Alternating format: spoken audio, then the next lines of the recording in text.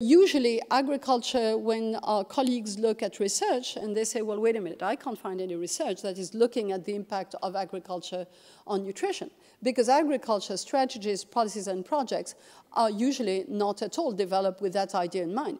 So since they're not developing that idea in mind, when you evaluate them, you have no idea of what has happened.